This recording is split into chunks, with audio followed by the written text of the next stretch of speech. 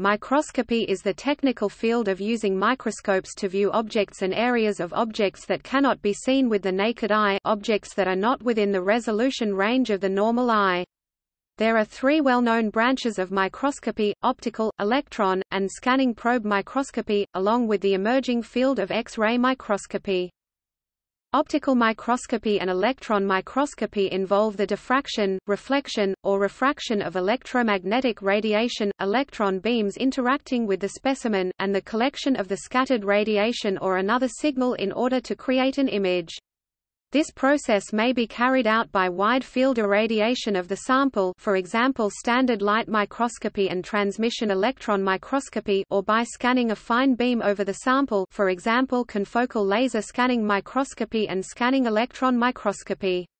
Scanning probe microscopy involves the interaction of a scanning probe with the surface of the object of interest. The development of microscopy revolutionized biology, gave rise to the field of histology and so remains an essential technique in the life and physical sciences. X-ray microscopy is three-dimensional and non-destructive, allowing for repeated imaging of the same sample for in situ or 4D studies, and providing the ability to see inside the sample being studied before sacrificing it to higher resolution techniques. A 3D X-ray microscope uses the technique of computed tomography microCT, rotating the sample 360 degrees and reconstructing the images. CT is typically carried out with a flat panel display. A 3D X-ray microscope employs a range of objectives, e.g., from 4x to 40x, and can also include a flat panel.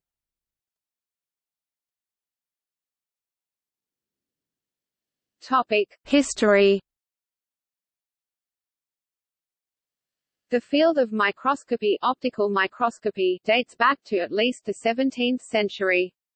Earlier microscopes, single-lens magnifying glasses with limited magnification, date at least as far back as the widespread use of lenses in eyeglasses in the 13th century but more advanced compound microscopes first appeared in Europe around 1620 The earliest practitioners of microscopy include Galileo Galilei, who found in 1610 that he could close-focus his telescope to view small objects close up and Cornelis Drebbel, who may have invented the compound microscope around 1620 Antonie van Leeuwenhoek developed a very high magnification simple microscope in the 1670s and is often considered to be the first acknowledged microscopist and microbiologist.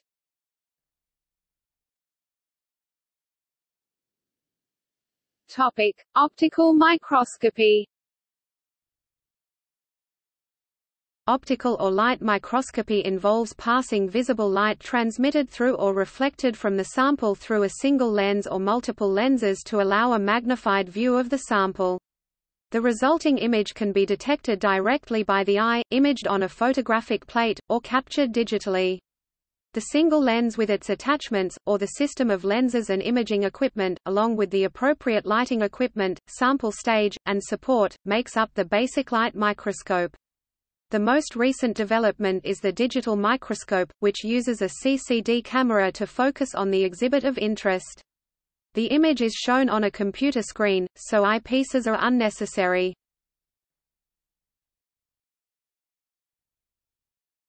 Topic: Limitations. Limitations of standard optical microscopy, bright field microscopy lie in three areas. This technique can only image dark or strongly refracting objects effectively. Diffraction limits resolution to approximately 0.2 micrometers c. microscope. This limits the practical magnification limit to tilde 1500x. Out-of-focus light from points outside the focal plane reduces image clarity. Live cells in particular generally lack sufficient contrast to be studied successfully, since the internal structures of the cell are colorless and transparent.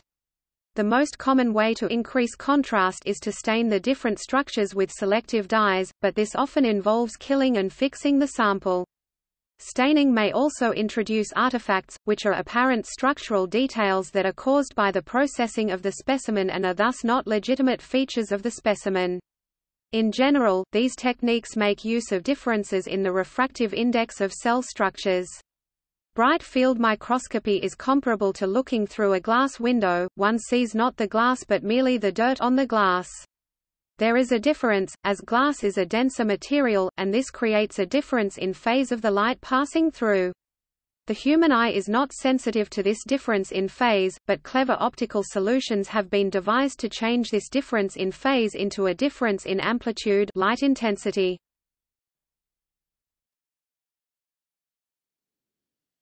Topic: Techniques In order to improve specimen contrast or highlight certain structures in a sample, special techniques must be used. A huge selection of microscopy techniques are available to increase contrast or label a sample. Four examples of transillumination techniques used to generate contrast in a sample of tissue paper. 1.559 micrometers, pixel. Topic: Bright field. Bright field microscopy is the simplest of all the light microscopy techniques. Sample illumination is via transmitted white light, i.e. illuminated from below and observed from above. Limitations include low contrast of most biological samples and low apparent resolution due to the blur of out-of-focus material. The simplicity of the technique and the minimal sample preparation required are significant advantages.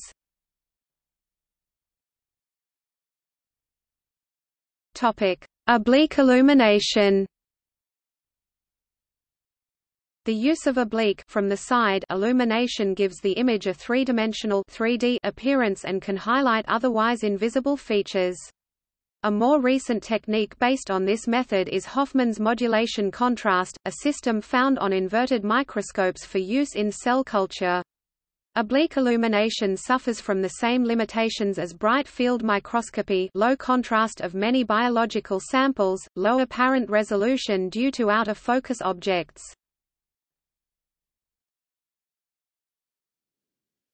Topic. Dark field Dark field microscopy is a technique for improving the contrast of unstained, transparent specimens. Dark field illumination uses a carefully aligned light source to minimize the quantity of directly transmitted, unscattered, light entering the image plane, collecting only the light scattered by the sample. Dark field can dramatically improve image contrast, especially of transparent objects, while requiring little equipment setup or sample preparation. However, the technique suffers from low light intensity in final image of many biological samples and continues to be affected by low apparent resolution. Rheinberg illumination is a special variant of dark field illumination in which transparent, colored filters are inserted just before the condenser so that light rays at high aperture are differently colored than those at low aperture i.e., the background to the specimen may be blue while the object appears self-luminous red. Other color combinations are possible, but their effectiveness is quite variable. Topic: Dispersion staining. Dispersion staining is an optical technique that results in a colored image of a colorless object. This is an optical staining technique and requires no stains or dyes to produce a color effect. There are five different microscope configurations used in the broader technique of dispersion staining. They include brightfield Becke line, oblique, darkfield, phase contrast, and objective stop dispersion staining. Topic: Phase contrast. In electron microscopy, phase contrast imaging more sophisticated techniques will show proportional differences in optical density. Phase contrast is a widely used technique that shows differences in refractive index as difference in contrast. It was developed by the Dutch physicist Fritz Zernike in the 1930s for which he was awarded the Nobel Prize in 1953. The nucleus in a cell for example will show up darkly against the surrounding cytoplasm. Contrast is excellent, however it is not for use with thick objects. Frequently, a halo is formed even around small objects, which obscures detail.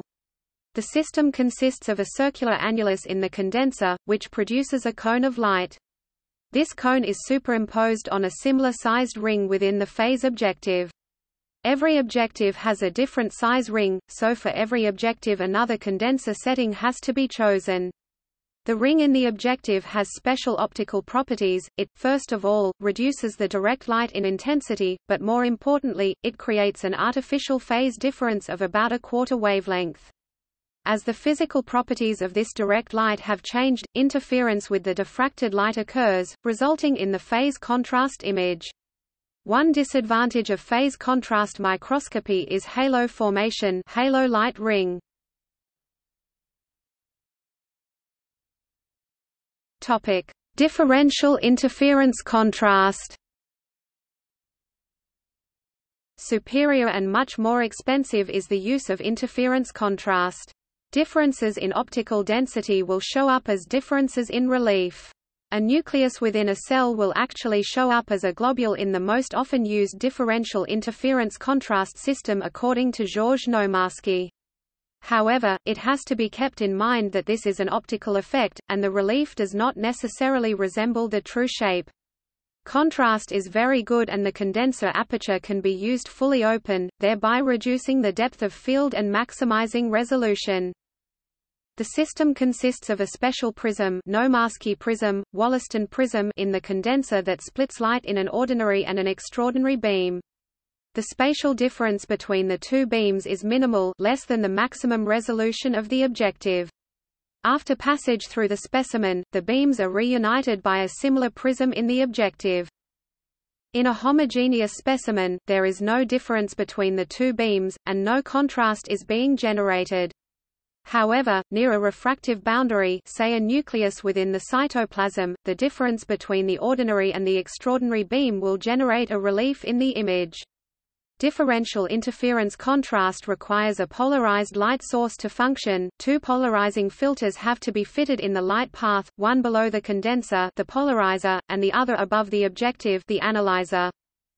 Note, in cases where the optical design of a microscope produces an appreciable lateral separation of the two beams we have the case of classical interference microscopy, which does not result in relief images, but can nevertheless be used for the quantitative determination of mass thicknesses of microscopic objects.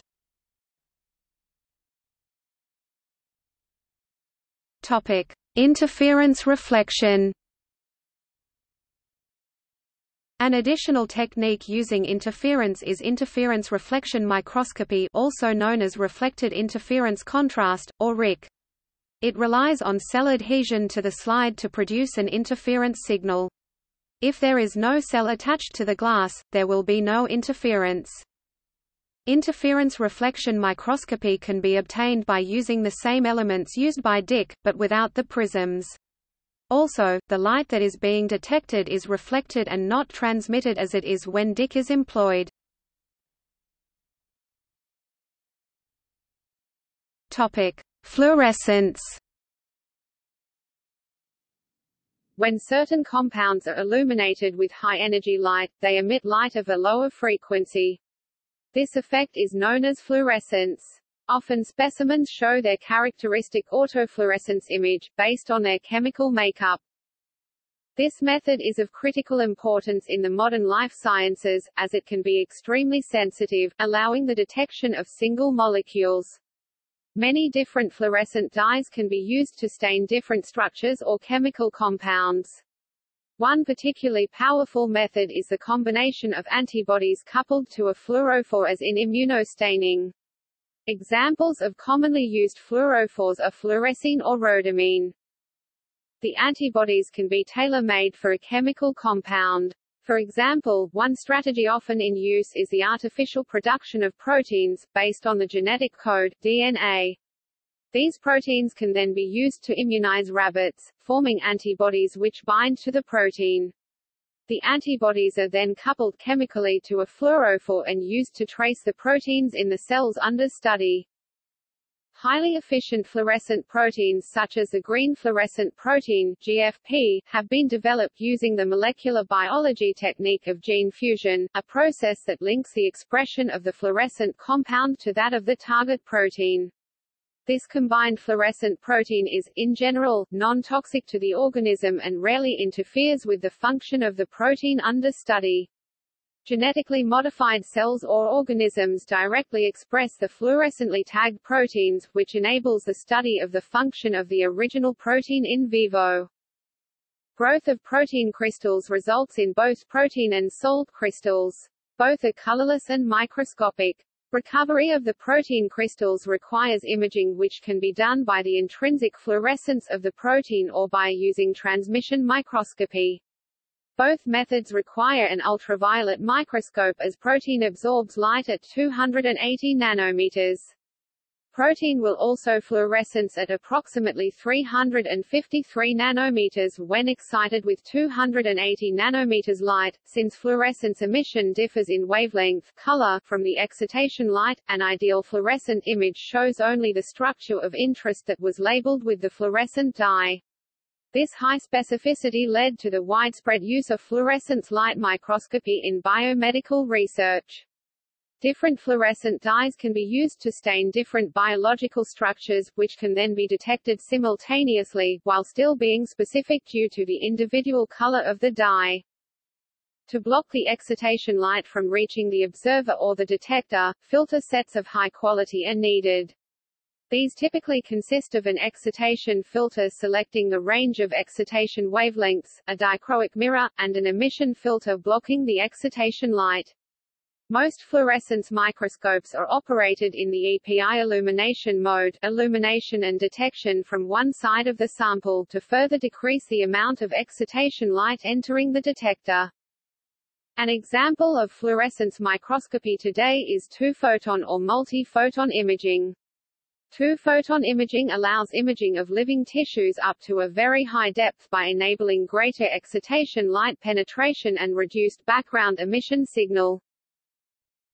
See also Total internal reflection fluorescence microscope Neuroscience Topic: Confocal Confocal microscopy uses a scanning point of light and a pinhole to prevent out-of-focus light from reaching the detector. Compared to full sample illumination, confocal microscopy gives slightly higher resolution, and significantly improves optical sectioning. Confocal microscopy is, therefore, commonly used where 3D structure is important. Topic: Single plane illumination microscopy and light sheet fluorescence microscopy. Using a plane of light formed by focusing light through a cylindrical lens at a narrow angle or by scanning a line of light in a plane perpendicular to the axis of objective, high-resolution optical sections can be taken. Single-plane illumination, or light sheet illumination, is also accomplished using beam shaping techniques incorporating multiple prism beam expanders. The images are captured by CCDs. These variants allow very fast and high signal-to-noise ratio image capture. Topic: Wide-field multiphoton microscopy. Wide-field multiphoton microscopy refers to an optical nonlinear imaging technique tailored for ultra-fast imaging in which a large area of the object is illuminated and imaged without the need for scanning. High intensities are required to induce nonlinear optical processes such as two-photon fluorescence or second harmonic generation. In scanning multiphoton microscopes the high intensities are achieved by tightly focusing the light, and the image is obtained by stage or beam scanning the sample. In wide-field multiphoton microscopy the high intensities are best achieved using an optically amplified pulse laser source to attain a large field of view approximately 100 micrometers. The image in this case is obtained as a single frame with a CCD without the need of scanning, making the technique particularly useful to visualize dynamic processes simultaneously across the object of interest. With wide-field multiphoton microscopy the frame rate can be increased up to a 1000-fold compared to multiphoton scanning microscopy. Topic: Deconvolution Fluorescence microscopy is a powerful technique to show specifically labeled structures within a complex environment and to provide three-dimensional information of biological structures. However, this information is blurred by the fact that, upon illumination, all fluorescently labeled structures emit light, irrespective of whether they are in focus or not. So an image of a certain structure is always blurred by the contribution of light from structures that are out of focus. This phenomenon results in a loss of contrast especially when using objectives with a high resolving power, typically oil immersion objectives with a high numerical aperture. However, blurring is not caused by random processes, such as light scattering, but can be well defined by the optical properties of the image formation in the microscope imaging system. If one considers a small fluorescent light source essentially a bright spot, light coming from this spot spreads out further from our perspective as the spot becomes more out of focus. Under ideal conditions, this produces an hourglass shape of this point source in the third axial dimension.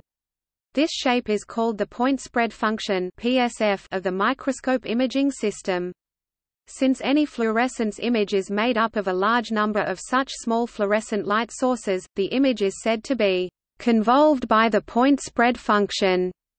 The mathematically modeled PSF of a terahertz laser pulsed imaging system is shown on the right. The output of an imaging system can be described using the equation S x y equals P S F X Y O X Y plus N display style s x y equals psf x y asterisk o x y plus n, where n is the additive noise.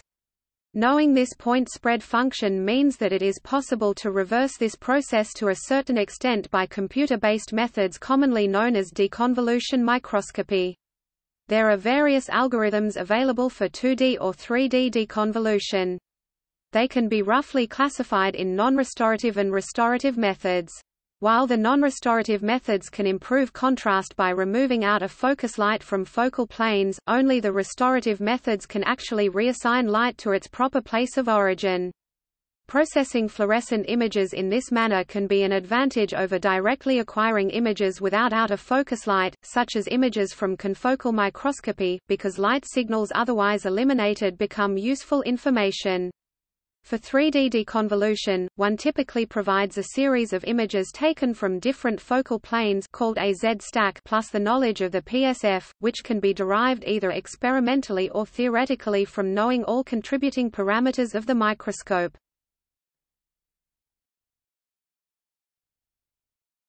Topic: Sub-diffraction techniques.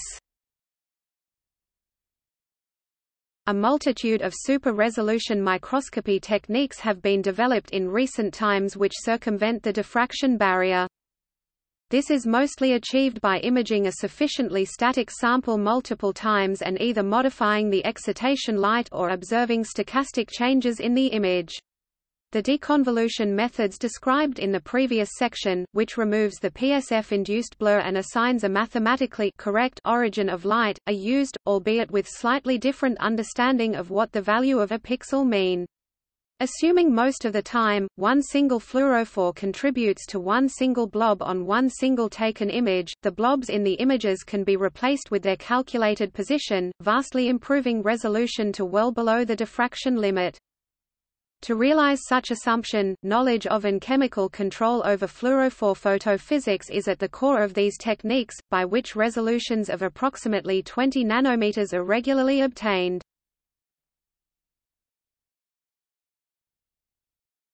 Topic: Serial time encoded amplified microscopy. Serial time encoded amplified microscopy (STEAM) is an imaging method that provides ultra-fast shutter speed and frame rate by using optical image amplification to circumvent the fundamental trade-off between sensitivity and speed and a single pixel photodetector to eliminate the need for a detector array and readout time limitations. The method is at least 1000 times faster than the state-of-the-art CCD and CMOS cameras. Consequently, it is potentially useful for a broad range of scientific, industrial, and biomedical applications that require high image acquisition rates, including real-time diagnosis and evaluation of shock waves, microfluidics, MEMS, and laser surgery.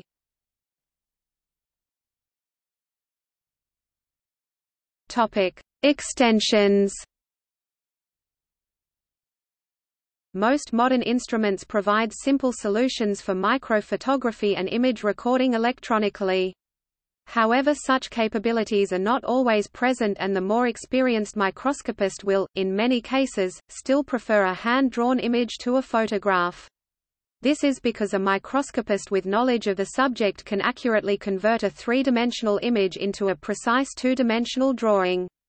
In a photograph or other image capture system however, only one thin plane is ever in good focus. The creation of careful and accurate micrographs requires a microscopical technique using a monocular eyepiece. It is essential that both eyes are open and that the eye that is not observing down the microscope is instead concentrated on a sheet of paper on the bench besides the microscope. With practice, and without moving the head or eyes, it is possible to accurately record the observed details by tracing round the observed shapes by simultaneously seeing the pencil point in the microscopical image. Practicing this technique also establishes good general microscopical technique. It is always less tiring to observe with the microscope focused so that the image is seen at infinity and with both eyes open at all times.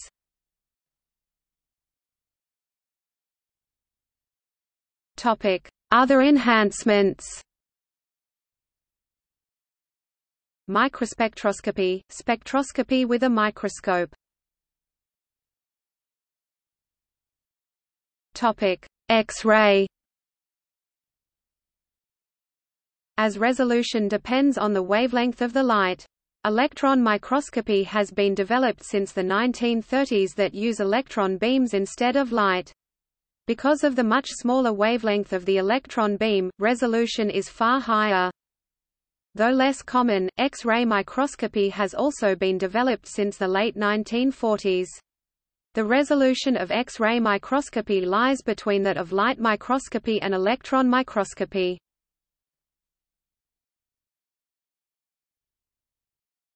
Topic: Electron microscopy. Until the invention of subdiffraction microscopy, the wavelength of the light limited the resolution of traditional microscopy to around 0.2 micrometers. In order to gain higher resolution, the use of an electron beam with a far smaller wavelength is used in electron microscopes. Transmission electron microscopy is quite similar to the compound light microscope, by sending an electron beam through a very thin slice of the specimen. The resolution limit in 2005 was around 0.05 nanometer and has not increased appreciably since that time. Scanning electron microscopy visualizes details on the surfaces of specimens and gives a very nice 3D view. It gives results much like those of the stereolight microscope. The best resolution for SEM in 2011 was 0.4 nanometer. Electron microscopes equipped for X-ray spectroscopy can provide qualitative and quantitative elemental analysis. This type of electron microscope, also known as analytical electron microscope, can be a very powerful characterization tool for investigation of nanomaterials.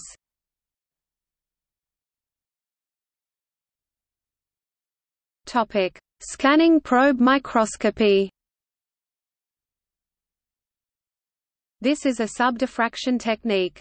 Examples of scanning probe microscopes are the atomic force microscope AFM, the scanning tunneling microscope, the photonic force microscope and the recurrence tracking microscope.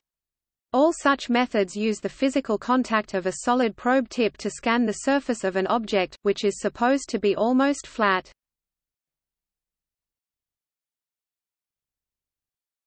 Topic: Ultrasonic force. Ultrasonic force microscopy (UFM) has been developed in order to improve the details and image contrast on flat areas of interest where AFM images are limited in contrast. The combination of AFM-UFM allows a near-field acoustic microscopic image to be generated. The AFM tip is used to detect the ultrasonic waves and overcomes the limitation of wavelength that occurs in acoustic microscopy. By using the elastic changes under the AFM tip, an image of much greater detail than the AFM topography can be generated. Ultrasonic force microscopy allows the local mapping of elasticity in atomic force microscopy by the application of ultrasonic vibration to the cantilever or sample. In an attempt to analyze the results of ultrasonic force microscopy in a quantitative fashion, a force distance curve measurement is done with ultrasonic vibration applied to the cantilever base, and the results are compared with a model of the cantilever dynamics and tip-sample interaction based on the finite difference technique.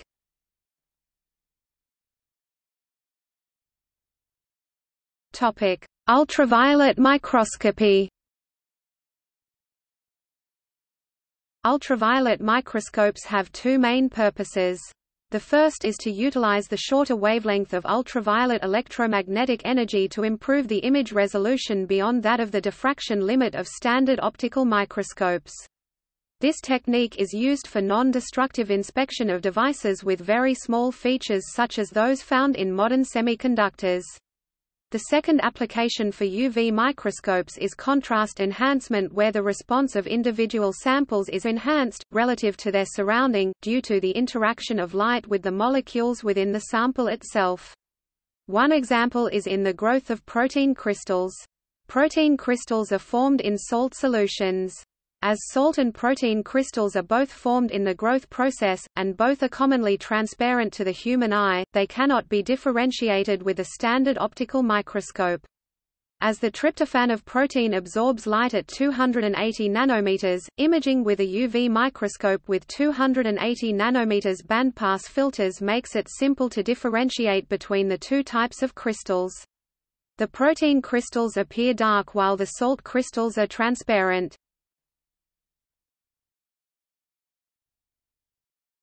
Topic: Infrared microscopy.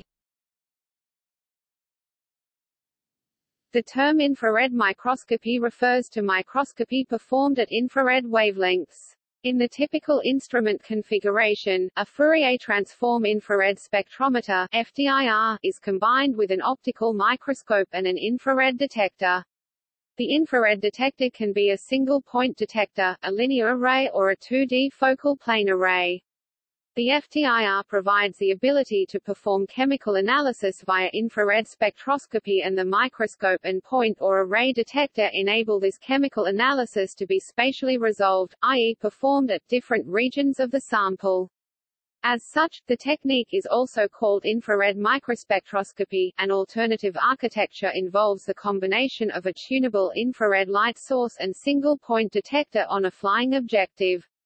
This technique is frequently used for infrared chemical imaging, where the image contrast is determined by the response of individual sample regions to particular IR wavelengths selected by the user, usually specific IR absorption bands and associated molecular resonances.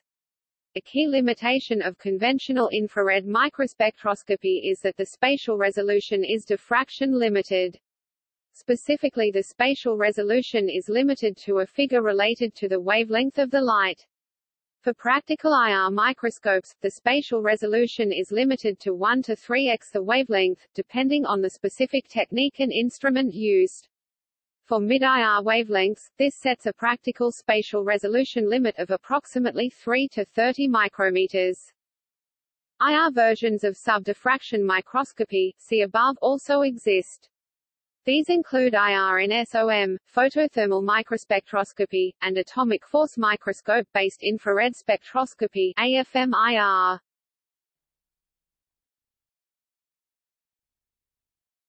Topic: Digital holographic microscopy. In digital holographic microscopy (DHM), interfering wave fronts from a coherent monochromatic light source are recorded on a sensor. The image is digitally reconstructed by a computer from the recorded hologram. Besides the ordinary bright field image, a phase shift image is created. DHM can operate both in reflection and transmission mode. In reflection mode, the phase shift image provides a relative distance measurement and thus represents a topography map of the reflecting surface.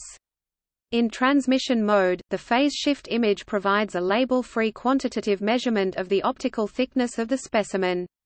Phase shift images of biological cells are very similar to images of stained cells and have successfully been analyzed by high-content analysis software. A unique feature of DHM is the ability to adjust focus after the image is recorded, since all focus planes are recorded simultaneously by the hologram. This feature makes it possible to image moving particles in a volume or to rapidly scan a surface. Another attractive feature is DHM's ability to use low-cost optics by correcting optical aberrations by software.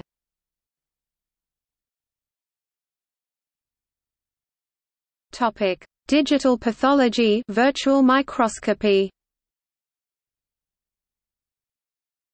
Digital pathology is an image-based information environment enabled by computer technology that allows for the management of information generated from a digital slide. Digital pathology is enabled in part by virtual microscopy, which is the practice of converting glass slides into digital slides that can be viewed, managed, and analyzed.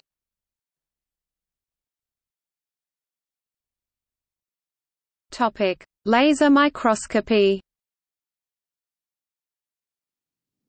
Laser microscopy is a rapidly growing field that uses laser illumination sources in various forms of microscopy. For instance, laser microscopy focused on biological applications uses ultra-short pulse lasers, in a number of techniques labeled as nonlinear microscopy, saturation microscopy, and two-photon excitation microscopy. High-intensity, short-pulse laboratory X-ray lasers have been under development for several years.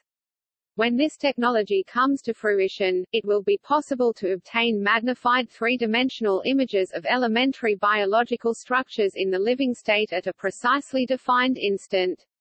For optimum contrast between water and protein and for best sensitivity and resolution, the laser should be tuned near the nitrogen line at about 0.3 nanometers. Resolution will be limited mainly by the hydrodynamic expansion that occurs while the necessary number of photons is being registered. Thus, while the specimen is destroyed by the exposure, its configuration can be captured before it explodes. Scientists have been working on practical designs and prototypes for X-ray holographic microscopes, despite the prolonged development of the appropriate laser.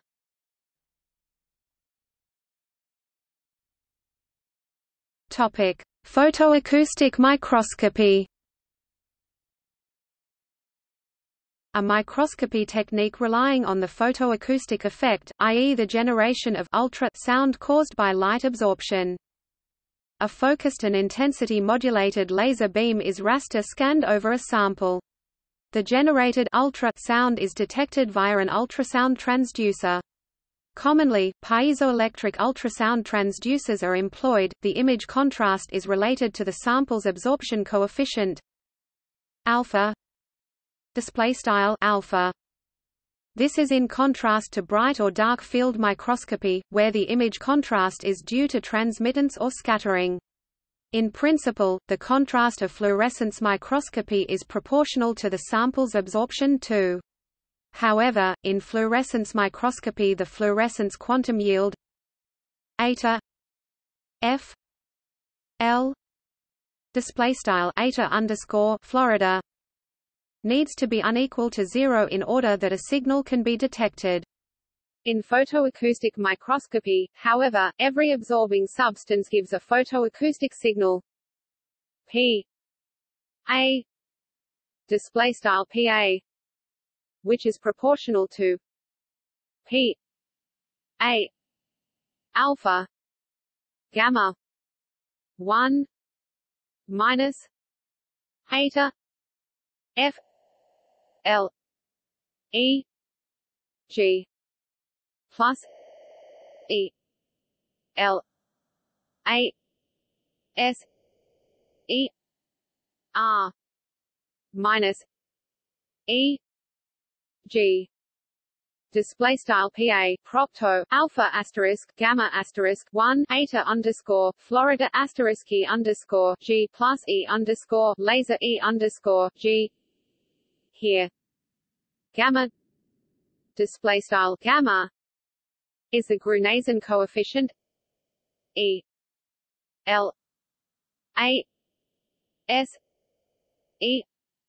R display style underscore laser is the laser's photon energy and E G display style underscore G is the sample's band gap energy.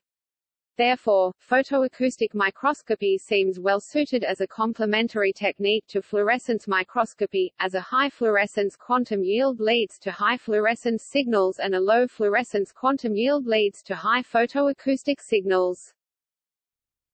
Neglecting nonlinear effects, the lateral resolution dx is limited by the Abbe diffraction limit d x equals lambda 2 n a display style dx equals lambda 2 asterisk na where lambda display style lambda is the wavelength of the excitation laser and na is the numerical aperture of the objective lens.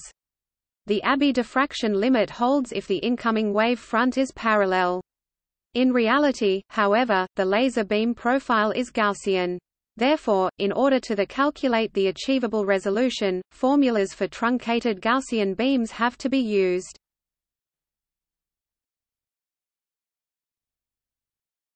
Topic: Amateur microscopy.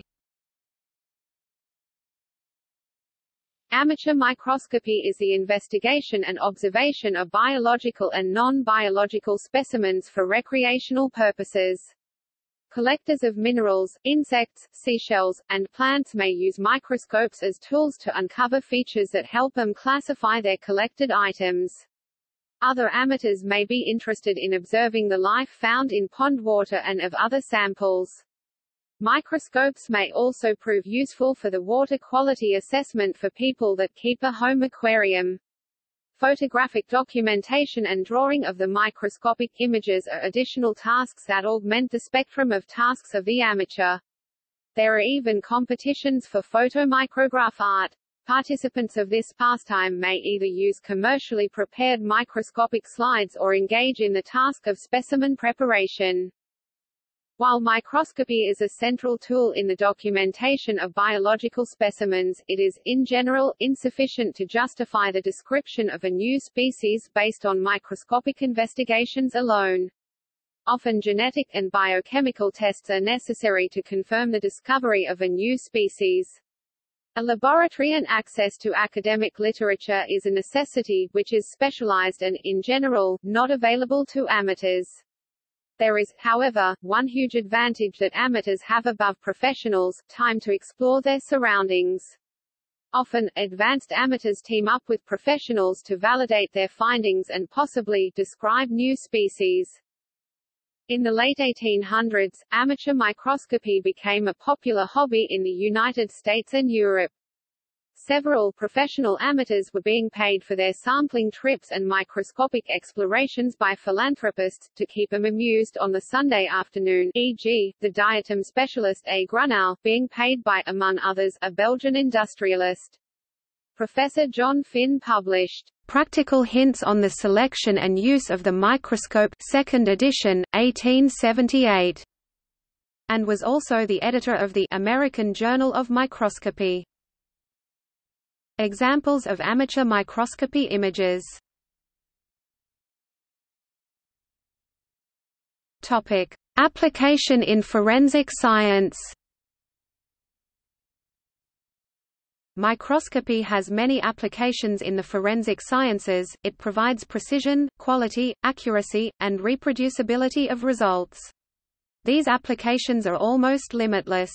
This is due to the ability of microscope to detect, resolve and image the smallest items of evidence, often without any alteration or destruction. The microscope is used to identify and compare fibers, hairs, soils, and dust, etc. The aim of any microscope is to magnify images or photos of a small object and to see fine details. In forensic, the type of specimen, the information one wishes to obtain from it and the type of microscope chosen for the task will determine if the sample preparation is required. For example, ink lines, blood stains or bullets, no treatment is required and the evidence shows directly from appropriate microscope without any form of sample preparation, but for traces of particular matter, the sample preparation must be done before microscopical examination occurs. A variety of microscopes are used in forensic science laboratory. The light microscopes are the most use in forensic and these microscopes use photons to form images for, these microscopes which are most applicable for examining forensic specimens as mentioned before are as follows, 1. The compound microscope 2. The comparison microscope 3. The stereoscopic microscope 4. The polarizing microscope 5. The microspectrophotometer This diversity of the types of microscopes in forensic applications comes mainly from their magnification ranges, which are 11200x, 50-30000x and 500 to 250 000x for the optical microscopy, SEM and TEM respectively. See also